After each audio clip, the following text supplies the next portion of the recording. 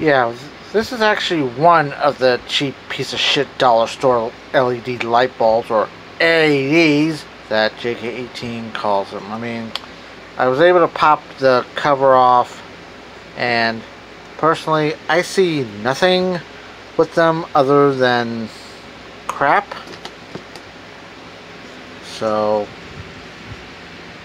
oh, that's not for me. I can try to show you the other one, but it's not coming out. I'm also slightly inebriated, and the fact that I'm pissed that today is the 26th, and it's just lasted a little over a year, so should I be satisfied? Maybe. But, seriously. Bring back the incandescents. I mean, we at least we know when they're going to burn out. These just short out, and we don't know what the hell's going to happen to them. Who knows? And personally, who the fuck cares?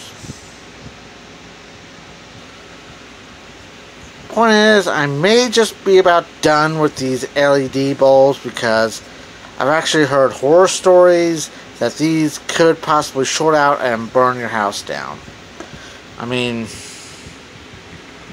yeah. And those, those are the halogens, the energy saving halogens, and yeah. And they're supposed to last a little over a year too, so it all depends. So guess till next time, whatever it is, and Mesky, thanks for watching. Comment box is open.